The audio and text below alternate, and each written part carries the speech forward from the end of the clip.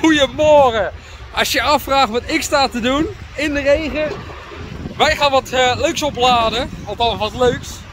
Helaas wat minder natuurlijk. Vanwege de oorlog in Oekraïne hebben ze daar hulpvoertuigen nodig. Dus die gaan wij naar Moldavië brengen. Die uiteindelijk in Oekraïne gaan dienen als hulpvoertuig. Is toch mooi hè? Krijg een nieuwe chauffeur. Die werkt hier net. Hoe lang werk je hier nu? Ja? Vanaf 1 april. Vanaf 1 april. Het is bijna een grapje. Dan mag hij gelijk mee naar Moldavië. Mooie rittenchauffeur noem je dat.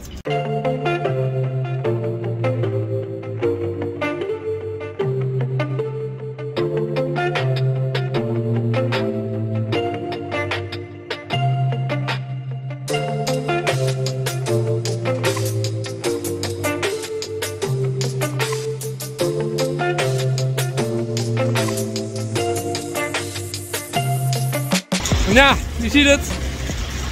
Heerlijk om zo'n buikje te beginnen. Maar eh, als je afvraagt waarom ik eigenlijk met een andere DAF ben. eh, en niet met mijn eigen DAF, die herrie maakt op zijn open pijp. Maar eh, mijn DAF komt nog terug uit Moldavië. En het is de bedoeling dat ik onderweg mijn eigen auto ga overladen. Dus deze auto is op mijn eigen wagen laden. Zo hebben we dus wat meer speling aan tijd. Anders moeten we eerst wachten tot de jongens met mijn auto terug zijn. En dat geeft gewoon echt een paar dagen extra werk.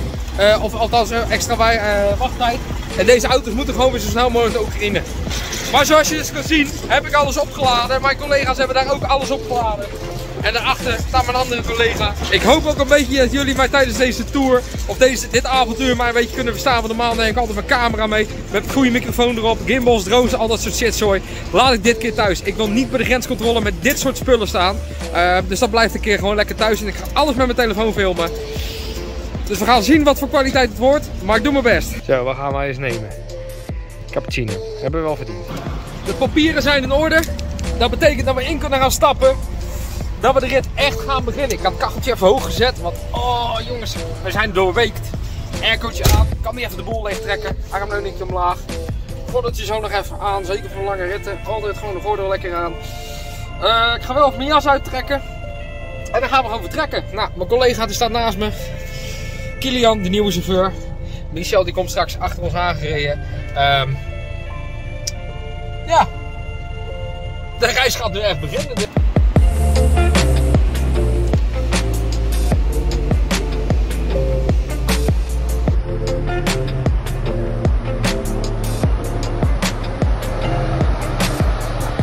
Nou goed, we zijn dus onderweg. We zijn zo straks bijna in Duitsland. Dus we gaan hier straks even wat aan doen.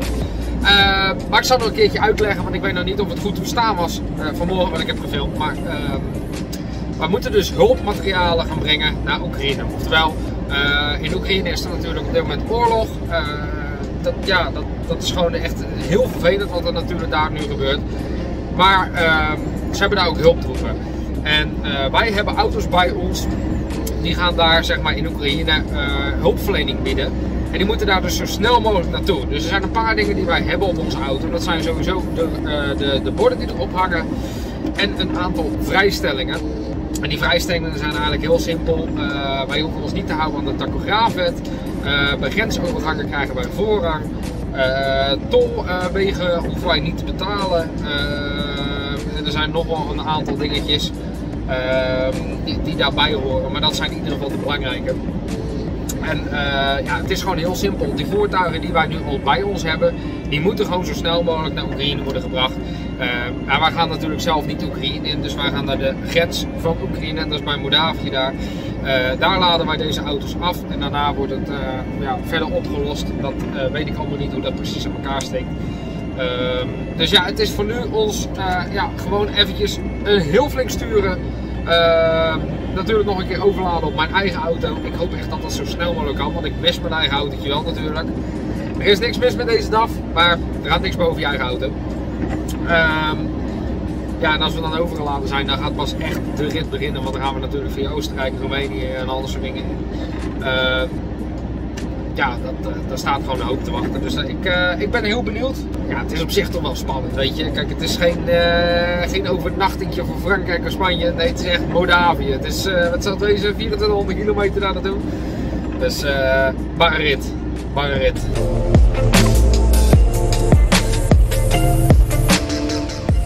Nou, we zijn in Duitsland. Zetten we in ieder geval even op pauze. En dan gaan we eventjes de taco ook doorgeven dat we in Duitsland zijn. Het begin land, naar Nederland. Dan gaan we naar, even kijken. Hey, waar is de D? Is de D nu zo ver weg? Oh, wacht. Even. Hoppa. En dan staan ze hoor, alle drie. Eventjes pauze pakken, een kwartiertje, ga ik opzetten, kunnen we daarna weer verder. En ik ga even in de tussentijd dat stuur er even uit trekken, want uh, daar willen we niet mee in Duitsland rijden.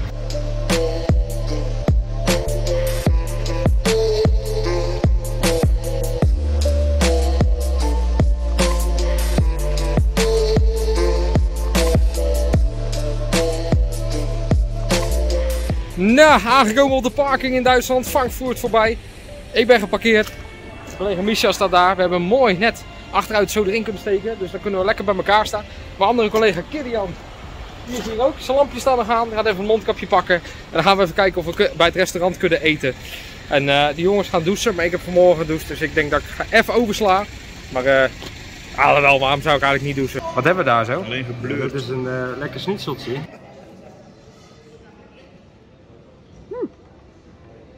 Oké, okay, dit is misschien best wel uh, komisch om te vertellen. Ik ga naar Moldavië, maar ik heb nog nooit overnacht in een vrachtwagen. Dit wordt mijn eerste overnachting überhaupt. Maar goed, een beetje barren gaan spelen. Gewoon in één keer naar Moldavië. Goedemorgen. Zo. Uh, ik heb best goed geslapen eigenlijk. Als ik het zelf. Ik ga mezelf zo even opfrissen in het... Uh, en het hok hier zo, want je hebt een, uh, een uh, hoe heet het nou? Hoe heet dat eigenlijk? ik ga even opfrissen. Ik ga kijken hoe het is met die andere jongens. Uh, dan gaan we de boel opstarten. ik ruim gelijk de wagen op, want ik mag vanmiddag gaan overladen op mijn eigen auto. Dus super blij dat ik mijn eigen autootje vanmiddag weer terug heb. Ehm, en dan gaan we straks weer vertrekken. Zo, heerlijk opgefrist. Ik ga eens even kijken hoe het met mijn collega is, want die staat erachter en ik zie nog geen lampje branden. Lukt het?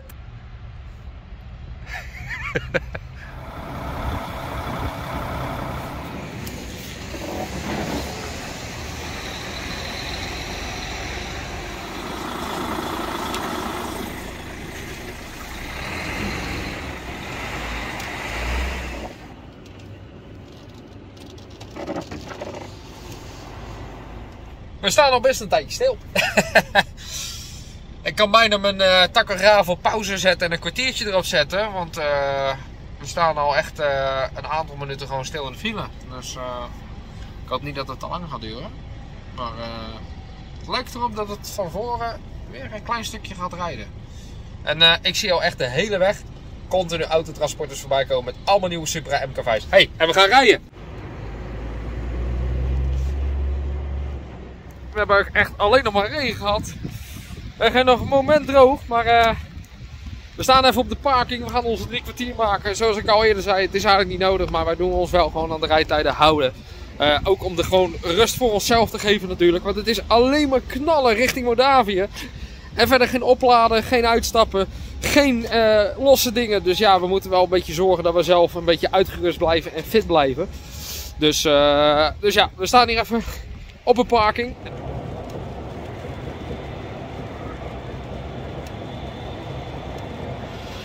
Ja, ook dat moet natuurlijk gebeuren. Een beetje brandstof erin. Diesel. Uh, ik sta wel te denken, die andere mannen niet. Want die andere mannen hebben allemaal twee tanken eronder hangen. Deze oude boy heeft maar één tank eronder hangen. Dus we tanken hem even af. Dan gaan we zo even overladen. Uh, dan kunnen die jongens die zeg maar met deze auto weer, of de jongen die dan in deze auto terugrijdt naar huis, wel in één keer terug. En dan hoeft hij niet nog een keer te denken. Dus uh, wat gaat erin? Ik denk dat er 320 in gaat of zoiets. 336. Dus ik vind dat het nog uh, goed geschat was met mijn 320. Ja, je ziet het goed. ik zit in mijn eigen auto uh, op dit moment. We hebben net uh, overgeladen, net voor de Oostenrijkse grens. We zijn nu in Oostenrijk. We hebben net het, de, de, klok overgezet op, op het aardje. Ik rijd nu achter mijn collega aan, weet je, Michel en Kilian. En we gaan nu even nog wat uurtjes maken. Ik heb nog iets meer dan een halve tank erin zitten. Net zoveel als Michel. Dus dat is een voordeel. Uh, we hebben allemaal een beetje dezelfde tank in de auto. Dus uh, we kunnen allemaal gewoon in één keer doorrijden. En we gaan kijken hoe ver we komen. Eh, en sowieso vanavond een lekkere parking. En volgens mij had Michel hier gedacht om daar lekker te eten. Dus ik kan niet wachten.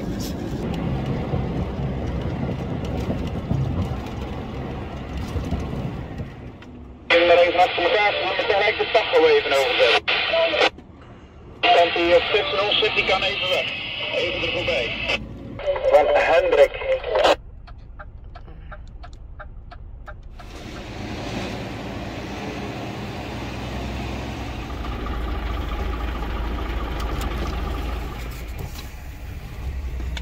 aangekomen in Hongarije. Nooit verwacht dat ik in Hongarije ooit zou komen, maar ik sta er nu. En het is nog maar de helft van de trip. Dus eh, nee, we staan niet met z'n allen geparkeerd. We hebben een parkeerbonnetje bij de slagboom daar zo. Dus die gaan we even betalen. En daarna gaan we daar lekker in het restaurant daar verderop. Even lekker wat eten. Dus ik ben benieuwd wat ze daar hebben. Eh, Ik heb gehoord van die mannen dat ze hier heel goed kunnen eten. En zoals ik al zei, ik heb mijn eigen wagen terug. Dus eh, hij is wel een beetje vies. Maar ja, hey, eh, hij is zo gewoon even naar Moldavië geweest. En wij nemen hem weer mee terug. Ik, ik, ik, ik snap hier geen zak van wat hier staat. Wat is dit voor taal? Snap jij het nog? Nee. Oh, hier, kijk eens. Nou, ondanks dat handschrift hier zo, dat doktershandschrift. Goedemorgen. Ah, de spulletjes van het bed nog opruimen. Even tanden poetsen, een beetje opfrissen. En dan gaan we vandaag toch wel de echte routes een beetje gaan beginnen. Ja, ben benieuwd. Want dit, nu gaan echt wel de, de, de barret, ja. Die gaan nu echt beginnen.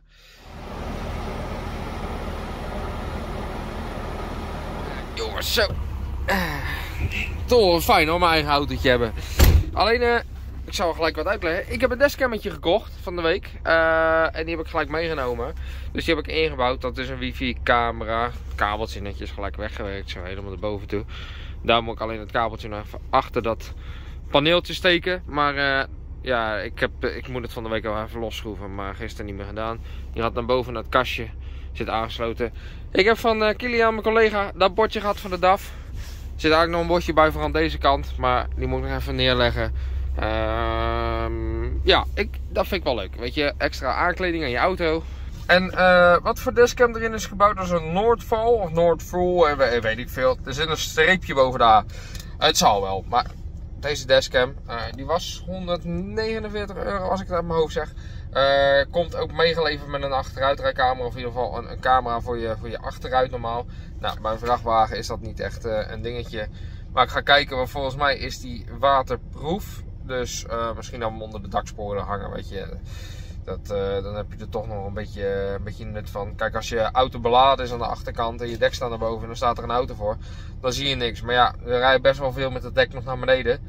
Dus eh, op zich kan een cameraatje daar goed geplaatst worden. Maar eh, ik ben er tevreden mee, want hij is 2K aan de voorkant en Full HD aan de achterkant. Eh, werkt via een appje, GPS, alles zit erop. Ehm, ik vind het een ideaal ding. Ehm, dus ik heb hem gisteren ingebouwd en we gaan vandaag ook zien of die ook echt uit, daadwerkelijk ideaal is. Maar ik heb er wel vertrouwen in.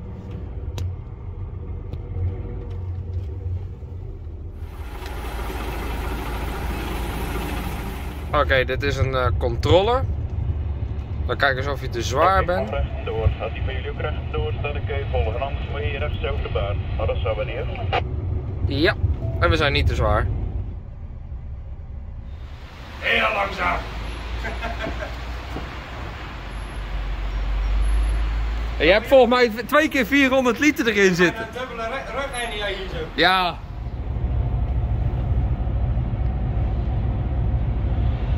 Zo, nog even een korte pauze houden. Half uurtje erop zetten. Dan staan onze drie kwartier er weer op. Dan hebben we weer een leeg blok om te kunnen rijden. We staan nu eh, in eh, Hongarije. En we moeten zo doorrijden naar Roemenië. Dus het is nog een, eh, een aantal honderd kilometer naar de grens toe van Roemenië. Dan de grens oversteken. Dat gaat eventjes afwachten hoe dat gaat lopen. Want dat kan heel veel tijd in beslag nemen. Of het kan snel gaan. Eh, dus dan moeten we gewoon eventjes afwachten hoe dat gaat lopen. Maar eh, ik moet zeggen, de wegen hier in Hongarije zijn echt wel goed te doen. Dat had ik echt niet verwacht.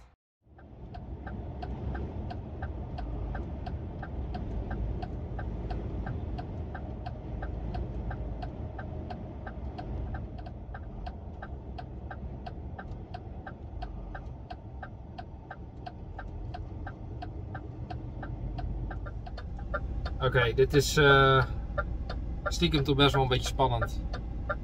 We hebben net, eh, ik denk echt eh, kilometers file ingehaald.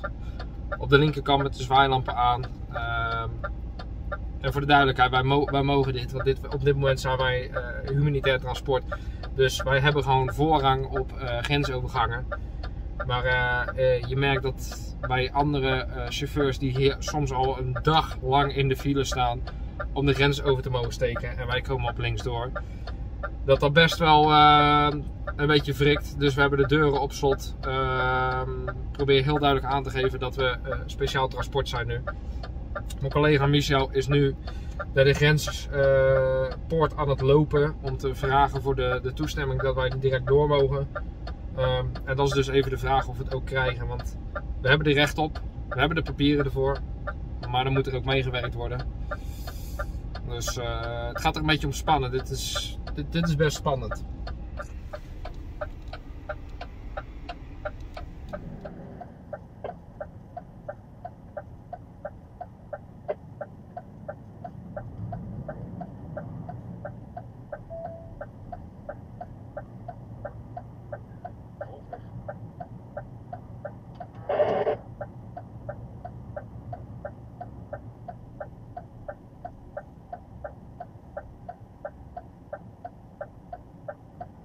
Oké, we hebben de grensoversteek hebben we gedaan. Eh, we werden best snel geholpen, goed. Dus dat, eh, dat scheelt. Ehm, ja, we staan nu nog in de rij. Hier moeten we helaas wel even wachten. We moeten een weegbrug op en een vignet halen. Ehm, en dan kunnen we onze weg vervolgen. Dus als ik kijk naar de file die er stond, hebben we al sowieso een paar uur winst te pakken. En eh, ja, ze hebben ons gewoon goed geholpen. De grens ging echt vlot. Ehm, dus ja, daar hebben we geen, eh, geen tegenslag in gehad. Dat scheelt. We willen dat op de terugweg ook hebben. En straks kijken. Ja. ja, we rijden hier even in een eh, kolonne achter elkaar natuurlijk. Een beetje dicht op elkaar. Want er zijn best wel een hoop chauffeurs die we ertussen willen proppen. Omdat we natuurlijk voorrang nemen. Echt nemen. Ehm, dus ja, we moeten een beetje dicht bij elkaar we hebben al onze papieren terug. We zijn over de weegbrug heen. Maar het volgende probleem. Ehm, dus nu is het even afwachten tot de politie komt. Ehm, en we weten eigenlijk niet zozeer wat het nou in gaat houden. Want we hebben iets begrepen over een complete eh, eh, burgerleiding. Dus dat zou inhouden dat we de hele tijd achter de politie aan moeten rijden.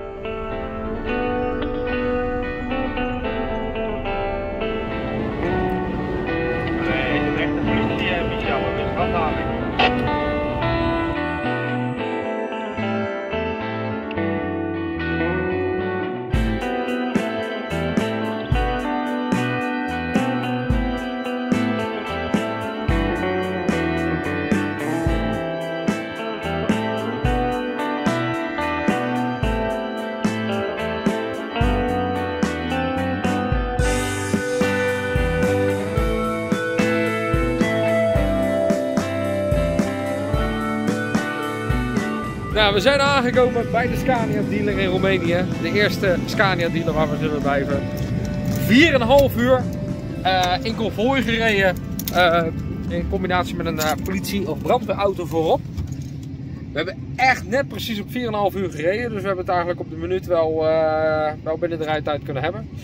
Ehm, en nu ga ik mijn magnetron voor het eerst gebruiken. Want die heb ik nog nooit gebruikt. Dus ik, überhaupt, ik heb geen idee of die het doet.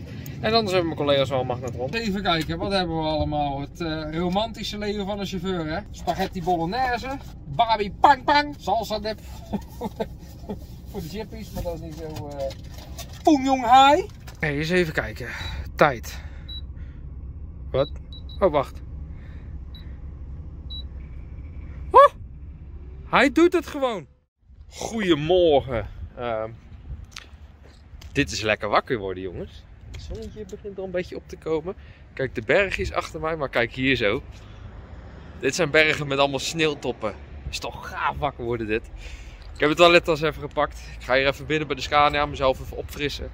Tanden poetsen, mijn haar, eh, nou ja, wat zou ik eraan doen eigenlijk? Valt toch niet meer veel beter te worden. Eh, volgens mij, die jongens liggen nog even te slapen. Eh, en ik ga in de tussentijd even, dat die jongens straks ook nog wakker worden, even wat dingetjes opruimen aan mijn auto.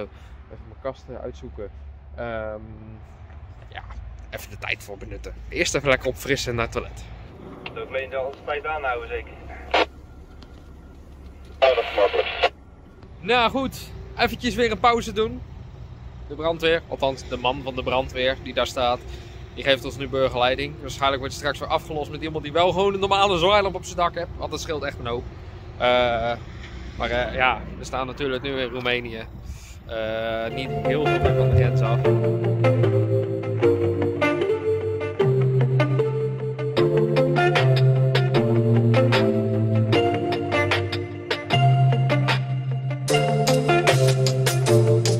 Nou jongens, ik lig op bed. Althans, ik zit op bed, moet ik eigenlijk zeggen. We hebben net een livestreampje nog gehad op eh, TikTok. Eh, we hebben best wel goed bekeken. Totaal 1400 mensen gekeken. Ik had al nooit een, een, een, een livestreampje gedaan, dus ik denk dat ik dat wel vaker ga doen. Ehm, en de, ik moet ook eerlijk zeggen, de volgers gaat echt goed, jongen. Eh, ik zit nu op 13.000 volgers en dat groeit echt met 100 à 200 volgers soms per dag. Dus dat gaat echt goed. Ehm, maar even terug te komen op, wat er natuurlijk hier helemaal gebeurt. Eh, we hebben vanmiddag een hele politie-escorte gehad. Dat was echt bizar. Alles werd afgezet. Eh, politieauto's en brandweerauto's die gewoon eh, rotondes blokkeerden, kruisingen blokkeerden. zodat wij met onze z- zwaailampbalkjes eh, in konvooi achter elkaar de kruising over konden. We reden met 70 door de stad heen achter een politiewagen aan. Hè. Dat is niet omdat wij dat zelf een idee, idee hadden. Maar eh, ehm, weet je, we, reden, we mochten door rood rijden, we mochten ze gewoon volgen. Maar goed, het is morgen toch nog maar een klein stukje naar de grens van Moldavië. En daar komt het echte spannende. Gaan we eh, in één keer de grens over kunnen of gaan we daar uren en misschien wel gewoon een complete dag staan? Want dat, dat kan gewoon. Je kan daar gewoon echt eh, makkelijk acht uur staan. Dus dat wordt heel spannend. We gaan het morgen zien. Ik ga jullie proberen mee te nemen. Net zoals bij de vorige grensovergang. Dus ik ga nu slapen. En eh, jullie zien morgen hoe dat gaat lopen bij de grens.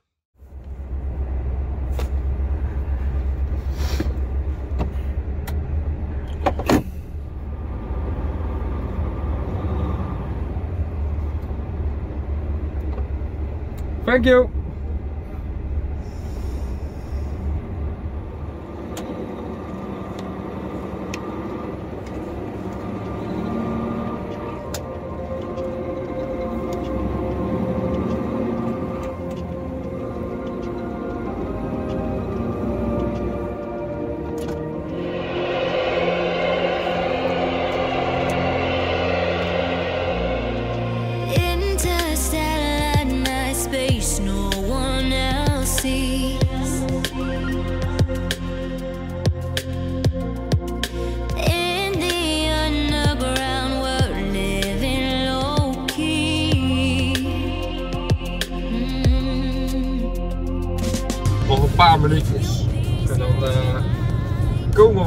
Bij de Moldavische grens. Of althans, de grens oversteken.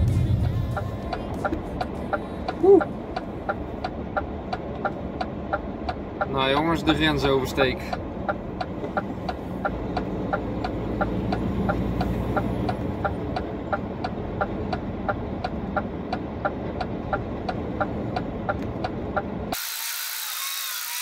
Nou, op dit moment rijden we dus achter een eh, brandweer slash politie. Op dit moment nu aan het burgerleiden is naar de voorkant van, moet ik eigenlijk zeggen, naar de grenspost. Eh, wat je op de rest ziet, zijn alle vrachtwagens die eigenlijk al echt uren, nou misschien wel een dag gewoon staan te wachten om de grens over te mogen.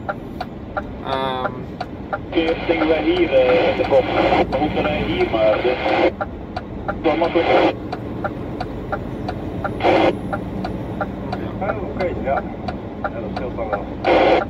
Nou, maar in ieder geval, wij mogen dus nu eh, doorrijden. Dat is eh, ja, in, eh, dit transport hebben wij daar voorrang op. Dus we mogen doorrijden aan de voorkant van de, van de file. En dan gaan we de papieren laten zien en als het goed is mogen we dan door. Maar dan hebben we nog een paar controleposten, dus nog niet te vroeg juichen. De file voorbij is één, maar dan zijn we dan niet. Nou, we staan op dit moment dus op de grensoversteek van eh, Roemenië. Eh, dat betekent wel dat eh, dit is nog Roemenië. Dan moeten we de grens over. Dan moeten we daarna nog een stukje rijden. En dan gaan we uiteindelijk de grens van Moldavië over. Dus daar moeten we ook nog aanmelden, papieren laten zien.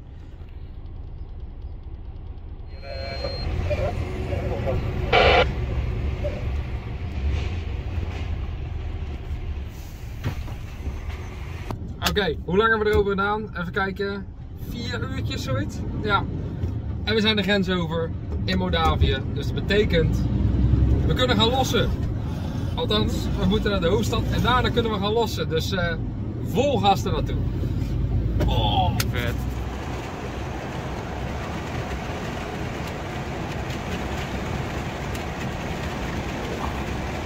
We gaan straks eh, lossen in het eh, hoofdstadje van Moldavië. En ehm, dan proberen we eigenlijk vandaag Moldavië nog uit te komen en terug Roemenië in. En dan eh, is het overnacht en dan is het alleen nog maar de terugreis inzetten. Dus eh, straks bij het lossen, dan hebben we het, eh, ja, dan hebben we eigenlijk het meest spannende gehad. Op de terugweg gaan we waarschijnlijk nog geholpen worden door lokaal. Maar dat goed, dat zien we straks wel. Niet te ver op de zaak eruit lopen. Eerst maar zorgen dat die landcruisers eraf gaan. En, dan zien we wel weer. Moldavië is mooi, maar wat zijn die wegen rot. Ja goed, Moldavië is een ontzettend arm land. Dus het is niet te verbazen dat het, eh, dat zo slecht te zien is.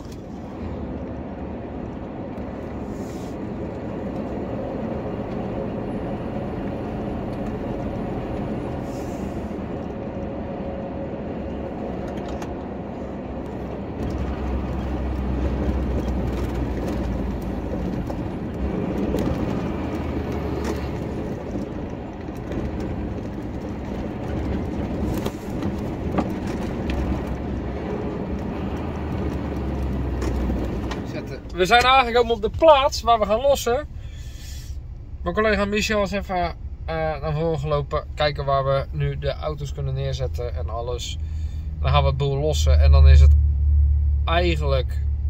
Ja, klaar wil ik niet zeggen. Maar ehm, dat is natuurlijk het, eh, het doel van de rit is volbracht. Dan hebben we de autootjes hier naartoe gebracht. En dan eh, is het alleen nog een kwestie voor ons om weer thuis te komen.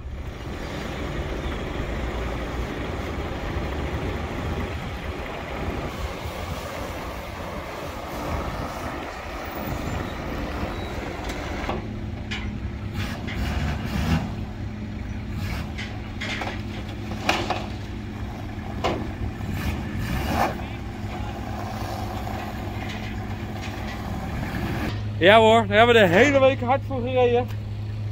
En nu wordt alles gelost. Lekker hoor.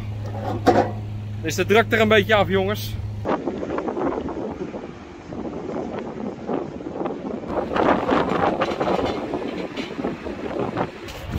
Daar is de kafnavel voor. Tafeltje. Tafeltje. En we voor je voor deze barrit. Ja, geweldig. Oh, je moet ook nog terug. Ja, maar ook nog terug. Ja, ik moet ook nog terug. Het is 23,5 graden hier. Dus eh, ik heb mijn overhemdje en mijn jasje en alles maar gelijk uitgedaan. En nu eh, gaan we verkeren hier op dat terrein. En dan eh, gaan we terug naar de grens van Moldavië Roemenië. Om daar nog een keer te overnachten. En dan, dan gaat echt de, de, de terug naar huis beginnen.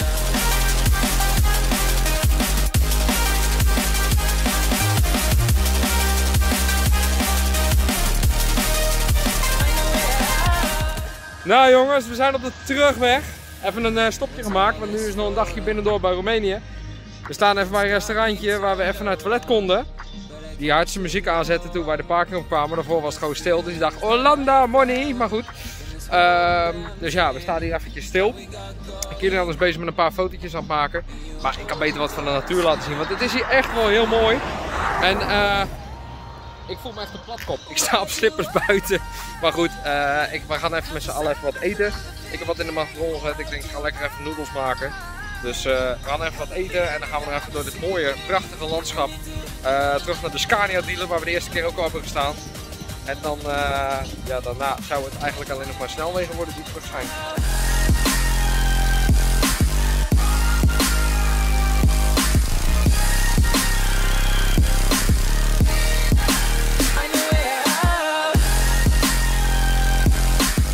Zo, goedemorgen nog een keer.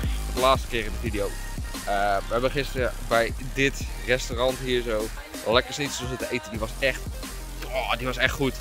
Even lekker kunnen douchen. Ehm, en nu is het nog even lekker wakker worden. Om 7 uur gaan we weer vertrekken. Eh, een stuk Oostenrijk nog door. Een stuk in Duitsland gaan we nog één overnachting pakken. Maar morgen zijn we dan weer thuis.